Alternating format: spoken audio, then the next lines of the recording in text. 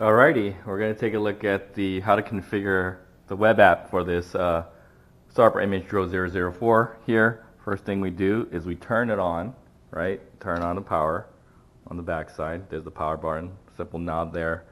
Um, make sure that we connect to the network that says 360L flight something something something. 360L flight. Once that's connected, we'll go ahead and make sure your control is turned on uh, then you're going to go to the app for, for a 360 flight. Click on the stream icon. And there you go. So right now, this camera right here right, is connecting to the screen right here. So you have the first person view.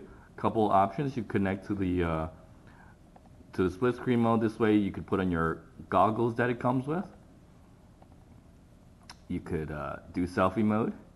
Uh, I'm sorry not selfie mode. Flip the picture around upside down. You could do uh, take a picture. You could record a video.